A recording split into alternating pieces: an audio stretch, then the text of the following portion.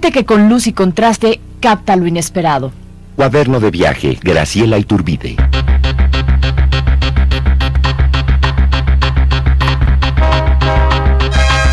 Testimonios fotográficos que el Instituto Nacional de Bellas Artes te invita a conocer. Cuaderno de viaje, Graciela Iturbide. Museo de Arte Carrillo Gil, Avenida Revolución 1608 en San Ángel.